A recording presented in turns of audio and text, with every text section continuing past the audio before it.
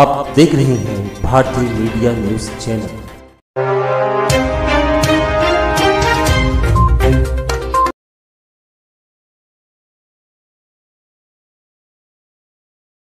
खुदामीन दरगाह हद खुल हर साल ईद नबी के मौके पर हज़रत मोहम्मद सल्लल्लाहु अलैहि वसल्लम की पैरान शरीफ की इजाज़त करवाई जाती है।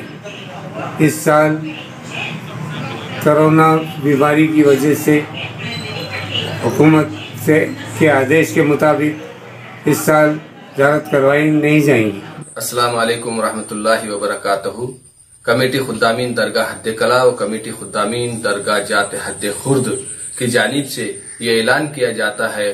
खुलदाबाद शरीफ से कि हज़रत ख्वाजा मुंतजबुद्दीन जरजरी जरबस रहमत के उर्स का आगाज़ 22 अक्टूबर से होने जा रहा है। लेकिन शासन के आदेश के अनुसार ये उर्स मुलतवी कर दिया गया है।